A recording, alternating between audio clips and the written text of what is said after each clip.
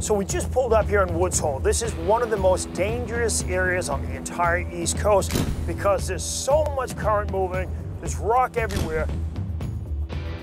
Just in front of us is called Red Ledge. And what I'm gonna do by deploying the Minn Kota unit and engaging Spot Lock, I'm gonna move up on a rock. There's a pile of rocks here. I'm gonna put it on the backside of the second rock, position ourselves in a situation where Jimmy can cast over the top because I think there's fish holding I've got spot lock engaged right now. What I'm gonna do is I'm gonna hit spot lock jog. And by hitting that, it's gonna move either five feet to the port, five feet to the starboard, five feet to the bow. So the position where we wanna go, I'm gonna go ahead and jog us five feet forward. So I'm gonna go ahead and give us one more click.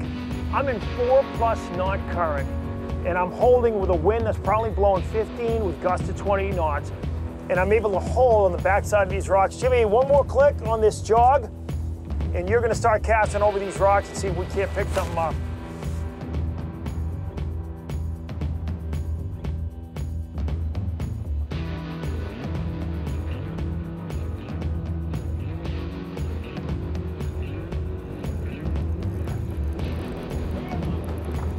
Got him, Jimmy? I got him. There you go, Beaver.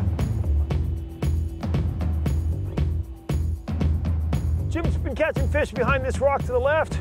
We got one that we're tucked up just in front of us. And off the starboard, there's another boulder over there. We pick fish off behind both of those and in front of them. Yeah, this is the only viable, safe way to fish structure like this. You know, this is serious current. You don't want to mess around here. So being able to be nimble, like you have with the Spot Lock and the Minn Kota Ulterra, is the safest way to fish, and really the only way that you should fish heavy structure like this.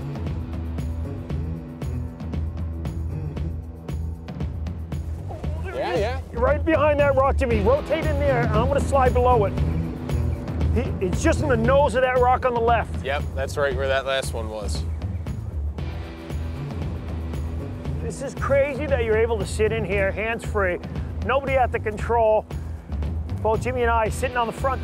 The fact that we can get in here and do this, it's kind of crazy.